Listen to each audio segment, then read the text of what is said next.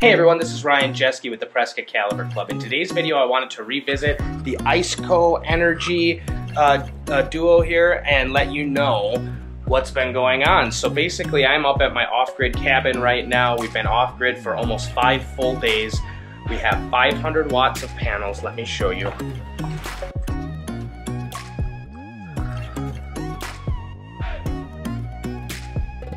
All hanging out outside in the sun and it's running by a cable right here. We're just packing up to get ready to go, so that's why it doesn't look wonderful here. And here we are. Now, it's at 48 and 59 right now because I've had it open. Um, I'm cooking breakfast, we're packing and unpacking. This is the final day.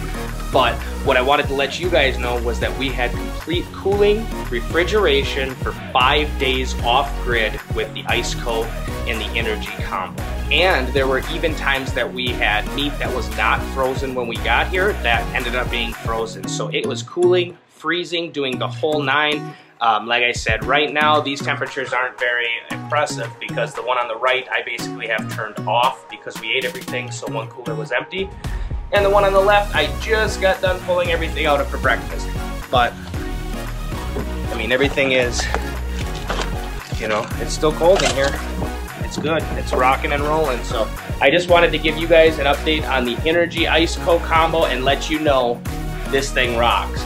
I do have them for sale available on the Prescott Cal Club website, so go check them out there. And until next time, you guys stay safe and keep prepping.